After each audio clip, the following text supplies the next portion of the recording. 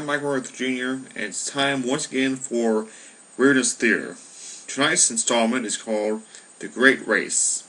Let me get started with my race. On my mark, set, go.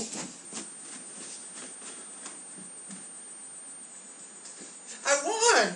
I won the race! I won the race! Falling, but I can't get up. I think I'm transforming. All runners who fall after the races become hideously deformed monsters.